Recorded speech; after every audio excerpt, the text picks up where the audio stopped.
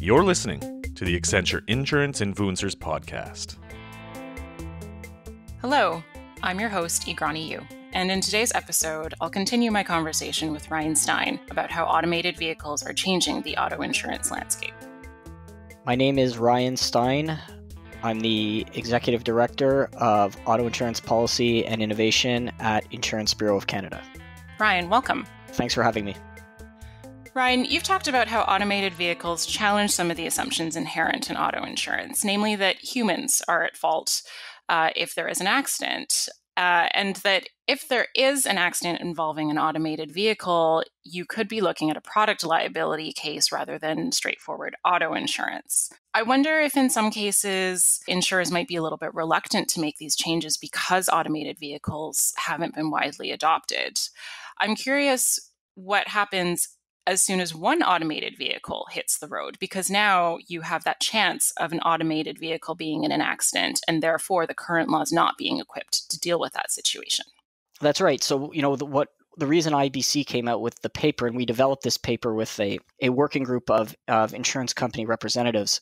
The reason we developed the paper was because if you wait for there to be a massive automated vehicles on the road, it's it's way too late. It's important to start looking at these issues and addressing it as these vehicles start coming off the assembly line one at a time. If you can avoid people that are injured in a collision having to go through a more lengthy claims process, which by the way, claims processes are never like no one wants to be in that situation to begin with. So you want the laws to make it hopefully as fair and as quick as possible. Um, and when you see a new type of risk, in this case being automated vehicles, and you know the threat of people having to go through product liability litigation, you want to be able to address it sooner rather than later.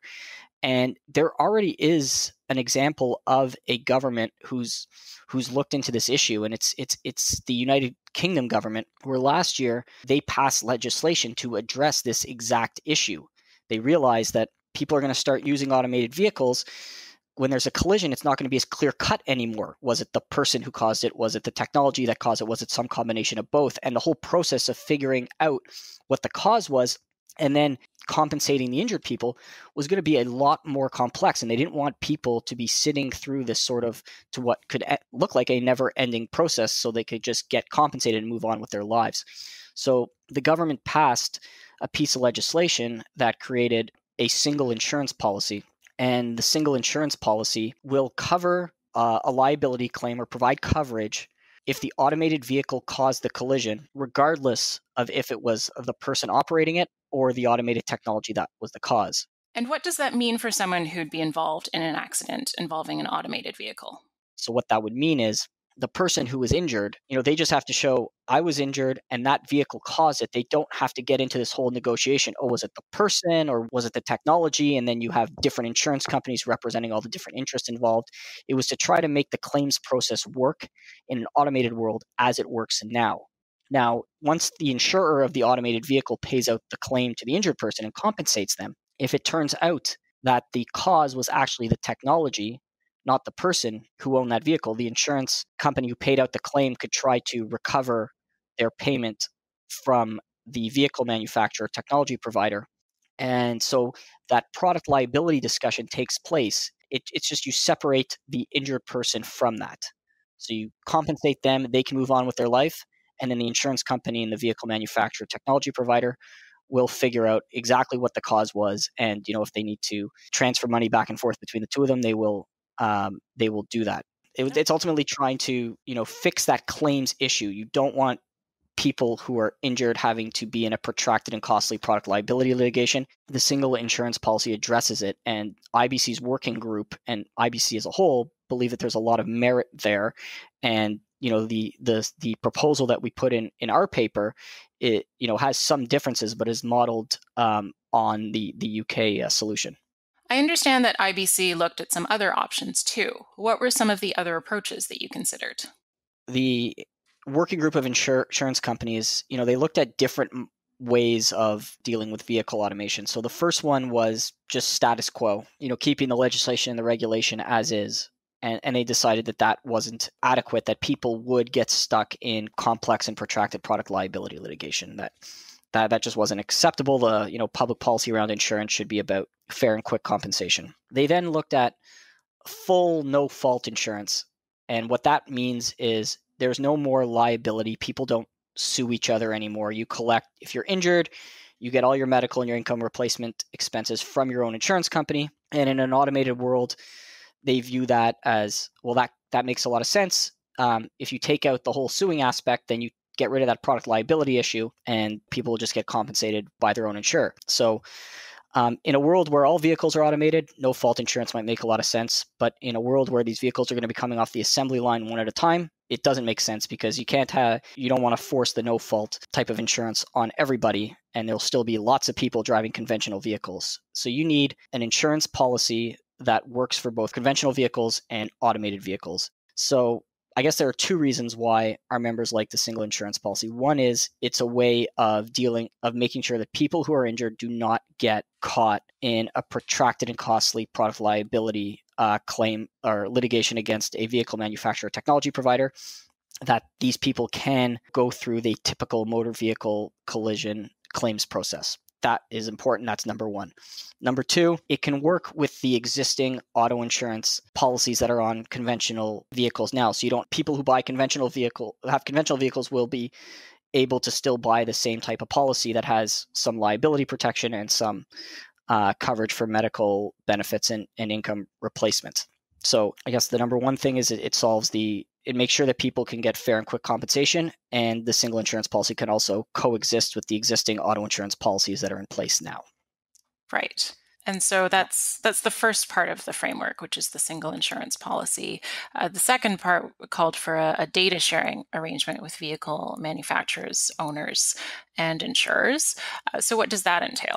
The, the, data sharing arrangement is really about after a collision, the vehicle, these vehicles collect a lot of data. And after a collision, no doubt some of that data will help determine what the cause of that collision was. So we think that, you know, vehicle manufacturers should share with the vehicle owners or the people involved in the collision and their insurance companies a prescribed set of data to so that would help determine what the cause was. So, for instance, was the automated, you know, status of the vehicle on or off? You know, what was the speed of the vehicle, the the location of where the collision happened? You know, some specific data points will really help determine what the cause was. And if you can figure out the cause, then you can start going forward with settling the claim and making sure anyone that's injured or needs to repair their vehicle can get compensated and move on quicker. And in the single insurance policy model that we talked about, there's an opportunity for the insurer who paid the claim to recover some of the payments associated with you know if the cause happened to be technology related. And so knowing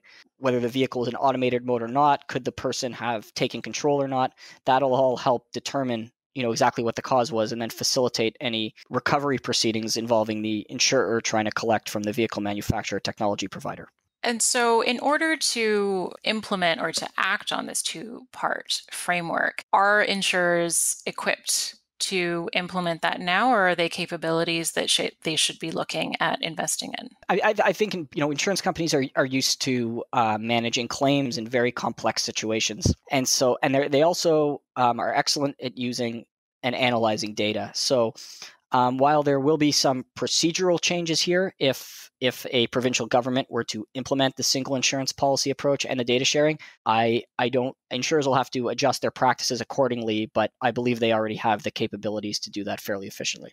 Mm-hmm. Well, that's good news for the industry.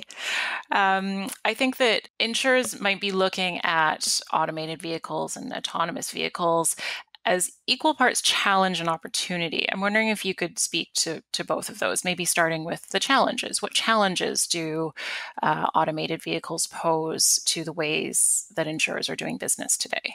You know, there's there's there's lots of changes that that are going to happen. There'll be fewer collisions, but the technology in these vehicles will make repairing and replacing them more expensive. There will be new risks associated with uh, with driving. You know, it could include software and network failure, programming choices, hacking and cybercrime, failure to install updates. Uh, vehicles will record lots of data, and lots of that data will help uh, for you know determining the price of the uh, of the risk or of the auto insurance policy, and then also uh, helping uh, settle uh, claims. And then the whole big change that we've talked about, which is technology playing a greater role in the responsibility uh, responsibility of collisions, and and humans playing less of a role. So I, I look at these as you know they're changes, but they're also opportunities. So insurance companies developing auto insurance policies that deal with the hacking and the cybercrime element or programming and network failure and all those new risks i mean that that is that is an opportunity. It's a challenge trying to meet that consumer need but it's really um, an opportunity. I also think that